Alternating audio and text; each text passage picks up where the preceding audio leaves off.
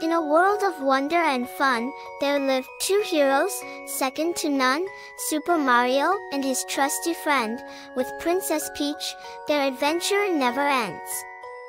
With courage and bravery, they set out each day, to save the Mushroom Kingdom, Kung What May, from Bowser's wrath and his minions so vile, our heroes never fail to make us smile.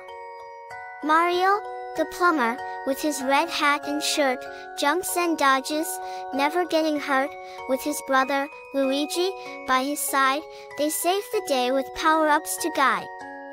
Princess Peach, the ruler of the land, with her beauty and grace, she takes a stand, against the evil Bowser, she fights with all her might, and with her friends, she triumphs in the fight.